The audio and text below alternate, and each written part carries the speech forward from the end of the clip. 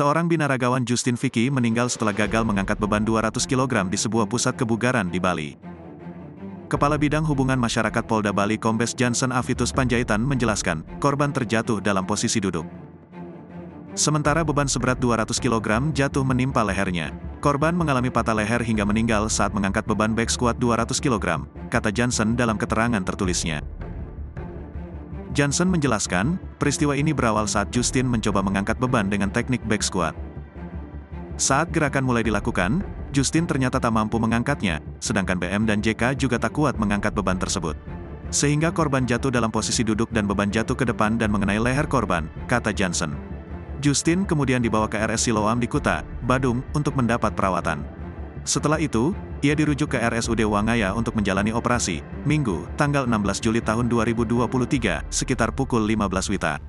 Namun, Justin tidak sadarkan diri usai operasi dan dinyatakan meninggal pada Senin, tanggal 17 Juli tahun 2023, pukul 14 Wita.